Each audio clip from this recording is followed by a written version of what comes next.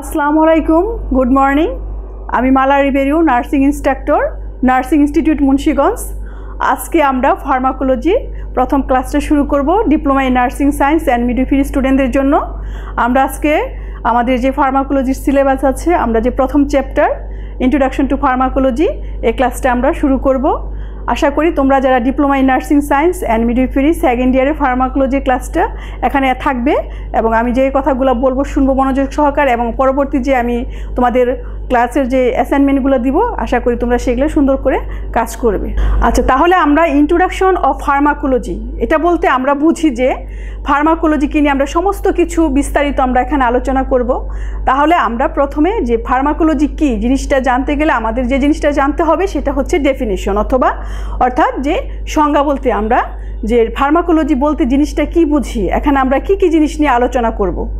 তাহলে pharmacology is the branch of medical science which embraces the knowledge of history, source, physical, chemical properties, dosage form, root, or, uh, route of administration, absorption, distribution, mechanism of action, physiological and biochemical effects within body, biotransformation, excretion, clinical use and adverse effects of drugs তাহলে আমরা এই সংজ্ঞা থেকে বুঝতেছি যে যেটা যে pharmacology হচ্ছে যে আমাদের যে মেডিকেল সায়েন্স মানে আমাদের যে, আমাদের ওষুধ আমাদের যে আমরা যে বিভিন্ন রকম মেডিসিন নিয়ে আলোচনা করতেছি বা আমাদের যে এই মেডিকেল সায়েন্সের একটা ব্রাঞ্চ যেখানে আমরা বিভিন্ন কি ওষুধ সম্পর্কে জানতেছি যে এটা কোথা থেকে শুরু হয়েছে, কীভাবে শুরু হচ্ছে, এই ড্রাগসগুলো আমাদের বডিতে গিয়ে কীভাবে সে কাজ করতেছে এবং এটা আমাদের শরীর থেকে কীভাবে বের হয়ে আসতেছে এবং এই যে আমরা বিভিন্ন প্রকারের যে ড্রাগস গ্রহণ করছি সো এটা আমাদের শরীরে কীভাবে এটার খারাপ প্রভাবও পড়ছে,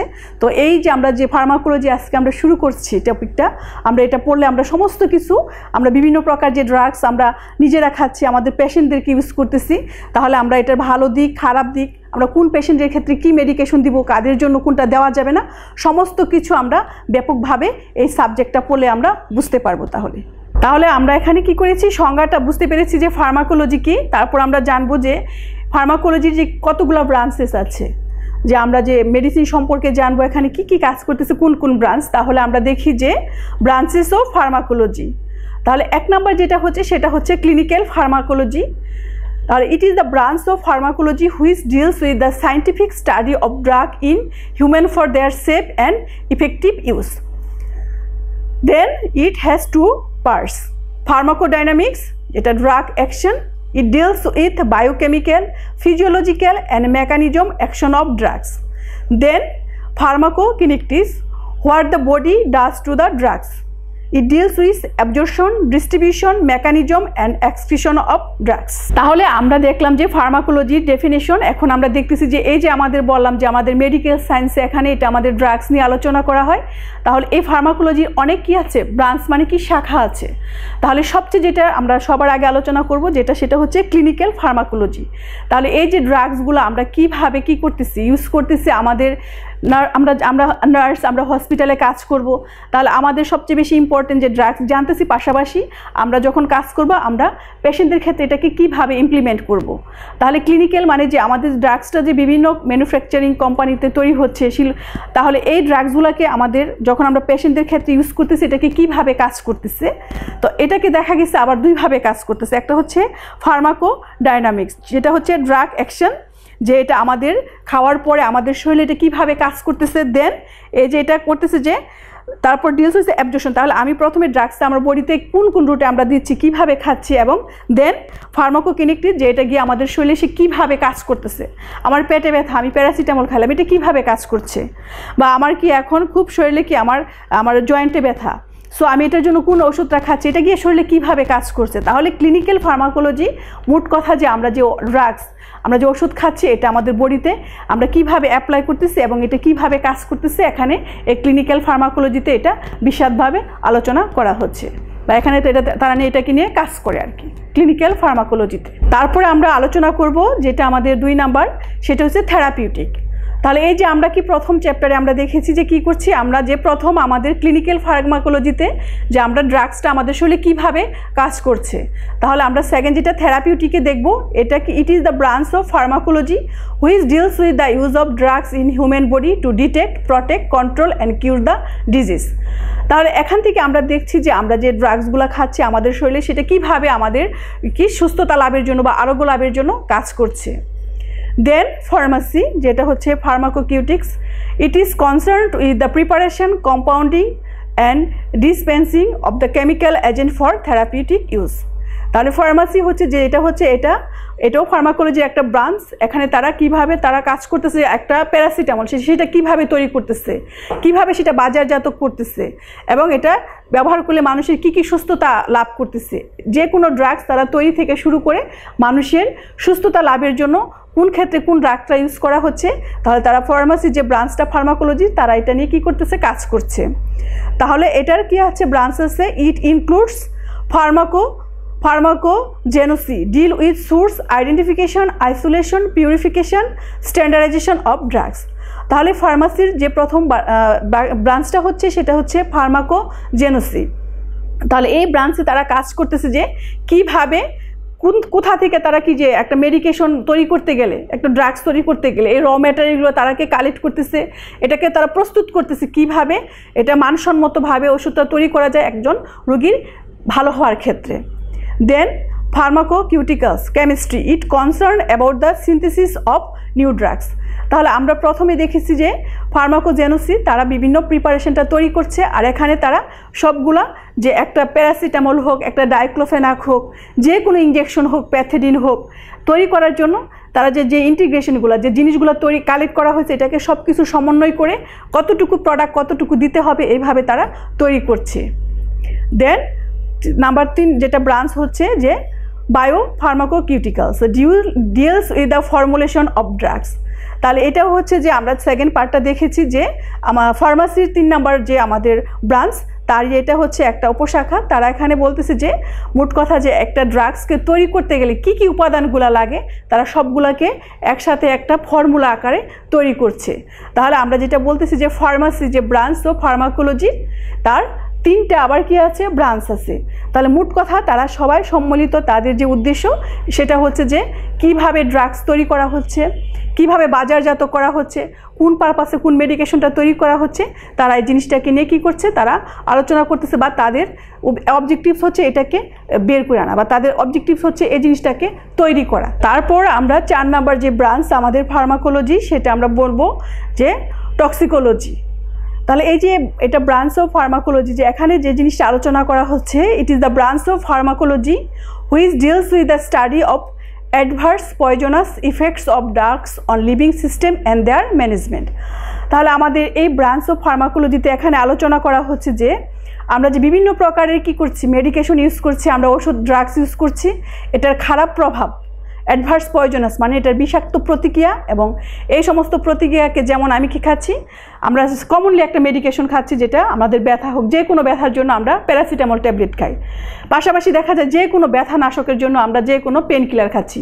সো এই যে এটার কি একটা পেন কিলার খাইলে আমরা আমাদের ব্যথাটা কমাচ্ছে। পাশাপাশি দেখা যাচ্ছে এটার অনেক কী আছে, পার্শ্ব প্রতিক্রিয়া। সো এটাকে কমানোর জন্য আমরা কি করতেছি? আমরা যে কোনো গ্যাস্ট্রোএন্টাইটিসের যেটা আমাদের যে ড্রাগস স্পেশালি আমরা কি গ্যাস্ট্রিকের আমরা বলি গ্যাস্ট্রিকের ওষুধ, যেটা আমরা কি খাচ্ছি যে ওমিপ্রাজল অ্যান্টারসিড রেনিটিড কেন? যে আমরা যে ওষুধটাকে খাচ্ছি এটার যে একটা আমাদের আমাদের যে ডিজিজটা সেটাকে সে কিউর করতেছে, পাশাপাশি এটাকে কি করছে আমাদের? আরও আমাদের যে সিস্টেমগুলো আছে বডিতে, তাদের মধ্যে কি খারাপ প্রতিক্রিয়া তৈরি করছে? সো এটাকে কি করার জন্য, কমানোর জন্য আমরা পাশাপাশি এই যে আমাদের স্টমাকে যেন কোনো ইরিটেশন না হয়, আমরা গ্যাস্ট্রিকের ওষুধ খাচ্ছি। যেমন কি যেটা আমরা বলতেছি যে, আমরা ক্যাপসুল জল খাচ্ছি, রেনিটিডিট, যে কোনো আমাদের অ্যান্টিবায়োটিক দিচ্ছে, এটা আমাদের কিউর করছে, পাশাপাশি আমাদের বডিতে অন্য এফেক্ট করতেছে। এটাকে কিউর করার জন্য আমরা পাশাপাশি অন্য যে, আমরা বেশি আমাদের কোথায় এটা ইরিটেশন তৈরি করছে, স্টমাকে। তাহলে বলতেছে যে, আমাদের শরীরে যে আমরা মেডিকেশন বা আমরা ড্রাগস নিচ্ছি, এটার যে খারাপ প্রতিক্রিয়াকে আমরা ম্যানেজ করার জন্য আমরা পাশাপাশি আরেকটা ড্রাগ রিকভারি হিসাবে যে বিভাগটা আমাদের ফার্মাকোলজি ইউজ মানে করছে তারা কাজ, সেটাকে বলা হচ্ছে টক্সিকোলজি তারা এটাকে নিয়ে আর, তারা বিভিন্ন রকমের গবেষণা করে বিভিন্ন প্রকার ওষুধ আবিষ্কার করছে। তারপরে হচ্ছে পাঁচ নাম্বার যেটা হচ্ছে ফার্মাকো জেনেটিক্স তাহলে এই ব্রাঞ্চের ফার্মাকোলজি যেটা ডিলস করা হচ্ছে বা তারা যেটা নিয়ে সবসময় গবেষণা করছে যে it is the study of genetic variation that cause differences in drug response এবং ইন্ডিভিজুয়াল অর পপুলেশন সো আমাদের জন্মগত যে সমস্ত আমাদের অনেক আমরা কি ডিজিজ নিয়ে আমাদের শিশুরা পৃথিবীতে আসতেছে। সো তাদের এই যে বিভিন্ন প্রকারের যে আমাদের কি আমরা বলতেছি জেনেটিক ডিজঅর্ডার এগুলো থেকে রিকভারি করার জন্য তারা রিসার্চ করে নতুন নতুন মেডিকেশন যেমন ডাউন সিনড্রপ কার্ডিয়াক প্রবলেম বিভিন্ন রকমের কি তারা প্রবলেম নিয়ে পৃথিবীতে আসতেছে অনেক বেবিরা সো তাদের এই ডিজিজগুলোকে প্রিভেন্ট করার জন্য এই বিভাগটা তারা বিভিন্ন প্রকারের মেডিকেশন আবিষ্কার করছে এবং তারা এটা গবেষণা করে আরও আপডেট মেডিকেশন তৈরি করার প্ল্যানে আছে তারা। তাহলে এই ব্রাঞ্চটা হচ্ছে যে আমাদের জন্মগত যে সমস্ত সমস্যাগুলো নিয়ে পৃথিবীতে শিশুরা আসছে, তাদেরকে এই ডিজিজ থেকে প্রিভেন্ট করার জন্য তারা নতুন নতুন মেডিকেশন তৈরি করছে। আমরা ছয় নম্বরে যে টপিক আমাদের যে ব্রাঞ্চটা দেখব ফার্মাকোলজি সেটা হচ্ছে ইমিউনো ফার্মাকোলজি তাহলে এই ইমিউনো ফার্মাকোলজি যে আমাদের যে ফার্মাকোলজি ব্রাঞ্চ এখানে আমাদের শরীরে যে কীভাবে ইমিউনিটি পাওয়ার তৈরি করা যায়, আমরা যে বিভিন্ন রকমের ড্রাগস নিচ্ছি, এই ড্রাগসগুলো গিয়ে আমাদের শরীরে যে আমাদের ইমিউনিটি পাওয়ারকে সে কী করে দেয়? অনেক সময় ড্রেস্ট্রয় করে দেয়। তাহলে এটাকে প্রিভেন্ট করার জন্য আমরা বিভিন্ন অ্যান্টিবায়োটিক নেওয়ার পরে, তাহলে যে ড্রাগসটা আমাদের কি শরীরে ইমিউনিটি পাওয়ার তৈরি করছে অ্যান্টিবডি যে আমরা যে ওষুধগুলো নিচ্ছি, নেওয়ার পরে যেন আমাদের শরীর উইক না হয়ে যায়, বা আমাদের বিভিন্ন পারপাসে আমরা বিভিন্ন মেডিকেশন নিচ্ছি, তা আমাদের এটা যেমন আমরা দেখি কি ছোটো থাকতে আমাদের বিভিন্ন কি যক্ষার জন্য আমরা, তারপর আমাদের হচ্ছে ডিপথিরিয়া হুপিং কপ এই সমস্ত ডিজিজগুলো আমাদের শরীরে যদি যে ভাইরাস বা ব্যাকটেরিয়া দিয়ে এফেক্ট হচ্ছে, এটা যেন আমাদের, এটার কারণে যেন আমাদের বডি উইক না হয়ে যায় সো এটাকে প্রিভেন্ট করার জন্য যে সমস্ত কি অ্যান্টিবডি তৈরি করা হচ্ছে, যে ব্রাঞ্চ তাদেরকে বলা হচ্ছে ইমিউনিও ফার্মাকোলজি তারপর দেখব আমরা যেটা behaviour pharmacology so this branch of pharmacology concern about drugs effect on behaviour of patient তাহলে এই ব্রাঞ্চে আমাদের কি? আমরা যে আমাদের, এটা মেনলি বোঝানো হচ্ছে যে আমাদের যে মেন্টাল ইলনেস স্পেশালি আমরা জানি যে আমাদের সাইকোলজিক্যাল প্রবলেম হচ্ছে যে মেন্টাল ইলনেস সো এটাকে কারেকশন করার জন্য।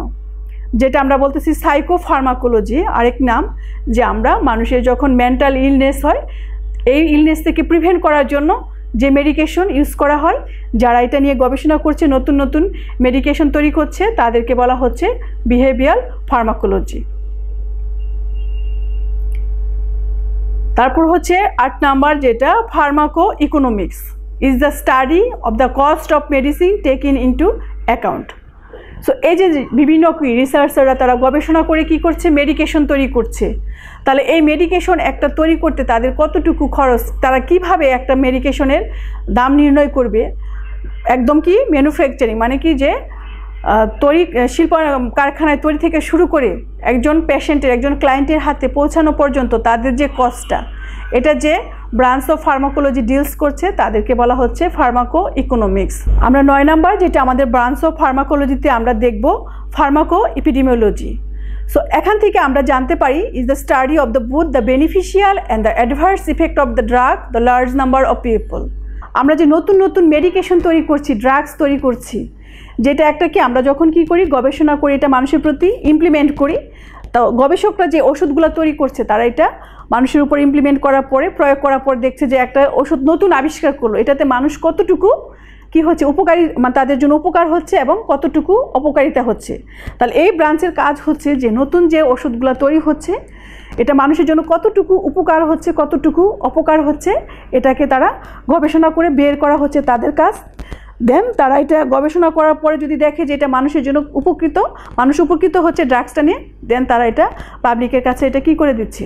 ছেড়ে দিচ্ছে বা এটা বাজারজাত করা হচ্ছে। সো কোনো মেডিকেশন তাহলে রিসার্চ করা হয় প্রথমে কি? কোনো পশু পাখির উপর, তারপর একটা স্মল গ্রুপ অফ মানুষের বা পপুলেশনের কাছে, এটার পরে এফেক্টটা যতটা কার্যকরী হয়, তখন এটা একদম লার্জভাবে বা এটা সারা দেশে, সারা ওয়ার্ল্ডে সেটাকে কী করা হয়? প্রচার করা হয়। তাহলে এই ব্রাঞ্চের কাজ হচ্ছে নতুন নতুন মেডিকেশনকে নিয়ে গবেষণা করা।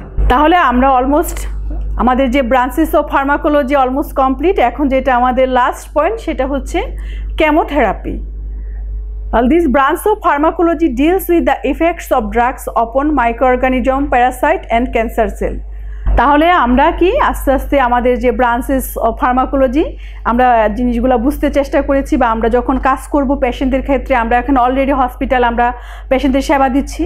তাহলে আমরা এই ব্রাঞ্চগুলো বুঝতে পেরেছি এবং লাস্ট যেটা এটা খুবই এখন খুবই কমন একটা কি টার্ম যে কেমোথেরাপি স্পেশালি এটা এই ব্রাঞ্চটা কাজ করছে যে আমাদের শরীরে যে সমস্ত ক্যান্সার সেলগুলোকে ডেস্ট্রয় করার জন্য যে ড্রাগস ইউজ করা হয়, তাদেরকে, বা কোনো প্যারাসাইট মাইক্রো অর্গানিজম মোট কথা আমাদের শরীরে যে আউটসাইড অফ যে মাইক্রো অর্গানিজমকে ডেস্ট্রয় করার জন্য যে ড্রাগস ইউজ করা হচ্ছে, তাকে বলা হচ্ছে কেমোথেরাপি তাহলে আজকে আমরা আমাদের যে ফার্মাকোলজি প্রথম চ্যাপ্টারের ইন্ট্রোডাকশন অফ ফার্মাকোলজি আমরা এটা ক্লাস করে অনেক কিছু আশা করি বুঝতে পেরেছি। তাহলে ক্লাস শেষে আমাদের আমাদের ক্লাস শেষ, কিন্তু আমাদের কাজ এখনও বাকি আছে। তা আমি তোমাদের ক্লাস শেষে একটা রিটার্ন অ্যাসাইনমেন্ট দিয়েছি, যেটা write down importance of pharmacology in nursing profession এটার উপর তোমরা মোটা আশা করি যে একশো ওয়ার্ডের বেশি তোমরা একটা অ্যাসাইনমেন্ট লিখবে। লিখে যে কমেন্ট বক্স আছে ওখানে সবাই তোমার নাম, তোমার ইনস্টিটিউট প্রথমে তোমার ইনস্টিটিউটের নাম, তোমার নাম roll number BNC registration number এগুলো সব কিছু লিখে মোবাইলের ছবি তুলে সেটাকে কমেন্ট বক্সে সাবমিট করতে হবে। তাহলে এটা আমরা দেখে পরবর্তীতে তোমাদেরকে এটা আইডেন্টিফিকেশন করতে পারব বা এটার উপর ডিপেন্ড করে আমরা তোমাদের নাম্বার অ্যাড করব। ধন্যবাদ সবাইকে।